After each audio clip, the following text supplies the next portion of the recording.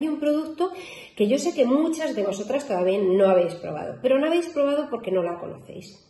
Mirad, es la limpiadora oleosa. Esta limpiadora cuando salió al mercado yo tuve al principio mis dudas, porque yo siempre he tenido la piel muy grasa y decía, bueno, eh, no sé si me va a gustar, ¿vale?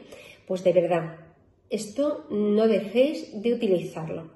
Y siempre utilizarla antes de poner la limpiadora de tu lote que utilizas habitualmente de no veis. ¿Por qué? Porque la limpiadora oleosa está basada en un sistema de doble limpieza que viene de la cultura coreana, de la belleza coreana.